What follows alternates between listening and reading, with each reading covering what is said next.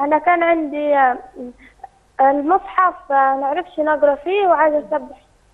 نسبح عليه ما بتعرفيش تقري من المصحف؟ آه وعايزين نسب- آه، نسبح عليه ولا إيه؟ يعني إيه تسبحي عليه؟ يعني أنت عايز تسمعي قرآن ولا عايزة إيه؟ عشان السؤال يبقى واضح معلش. يعني ب- بدل الكلمات نقول سبحان الله عليه آه طيب. تمام. هنرد عليكي حاضر يا سهير. شكرا ليكي. آه تقريبا المعنى إن هو من باب البركة أو حاجة إن حد مش عارف يقرأ من المصحف بس إن هو يش... في ناس كتير تقول لو أنا لو شاورت وأنا مش عارف أقرأ هل ده يحتسب له أي شيء؟ والله هو كل ربنا سبحانه وتعالى بيقبل كل عمل ابن آدم طالما هو فيه قرب إلى الله. تسبح تستغفر تقرأ بس الفاتحة بنية القرب من الله كل العمل خير إن شاء الله.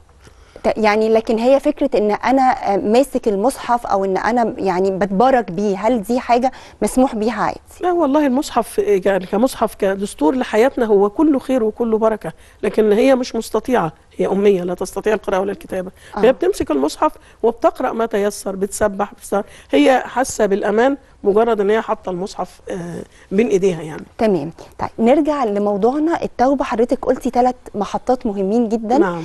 آه، علم وحال وعمل. نعم. بس حضرتك قلتي في العلم إن مفيش حد بيعمل الذنب وهو مش عارف إنه ذنب. طبعا هل فعلا دي حقيقة يا دكتور راويه يعني إحنا كتير بنقع في ذنوب مش مدركين حجمها مش عارفين دي كبيرة ولا صغيرة مش عارفين أصلا ممكن ده ذنب ولا مش ذنب. والله ربنا سبحانه وتعالى ادانا سبيل رائع. قال والذين جاهدوا فينا لنهدينهم سبلنا. النفس الأمارة اللي جوه الإنسان دايما دي مستقر الشر في الجسد.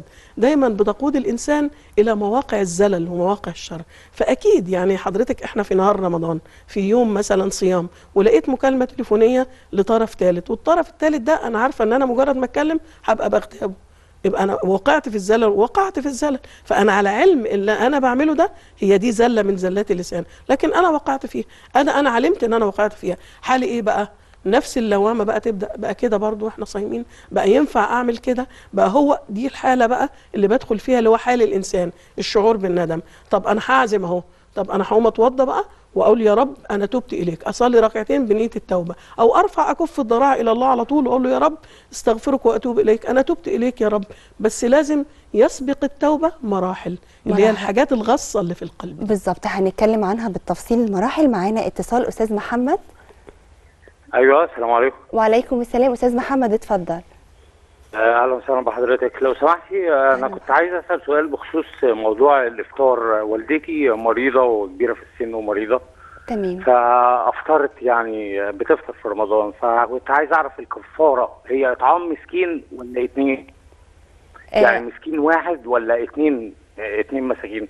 وهل ممكن آه، آه، آه، بدل الإفطار ده آه، فلوس تطلع؟ ولو الفلوس ديت ممكن تطلع عايز أعرف تطلع كل يوم كام مثلا عن عن عن, عن الإفطار. تمام. واشكرك شكرا. هنرد على حضرتك يا أستاذ محمد.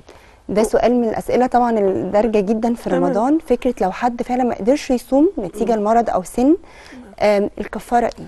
هو عامة ربنا سبحانه وتعالى أوضح لنا في القرآن من كان مريضا أو على سفر فعدة من أيام أخرى.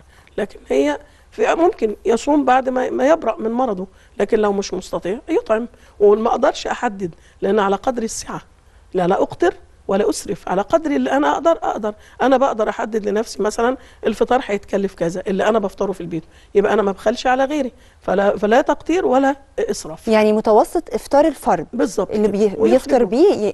هو كان بيسأل بيقول هل لفرد واحد ولا الفردين هو على سبحان الله ده إحنا في شهر الخيرات يطعم عشرة لا، يطعم ال- عشرين على الأساس قدر- بتاع لا، الكفارة. على قدرها على قدرها. فرد. على قدرها. إطعام فرد على كل. يوم. آه تمام. طب هل. ممكن يطلع فلوس من- من غير ما يطلع والله أكل؟ آه سبحان الله على حسب حال الإنسان اللي قدامه. ممكن في ناس دلوقتي انت بتيجي تدي شنطة رمضان آه يقول لك طب لو لو فلوس يكون أفضل. فأنا لازم أكون عندي حاجة اسمها الاستشعار بحال الذي أمامي. هل الفلوس بالنسبة له أفضل؟ هل الإطعام بالنسبة له أفضل؟ فأنا اللي بستشعر حالا. لكن في كلا الحالتين كله خير إن شاء الله.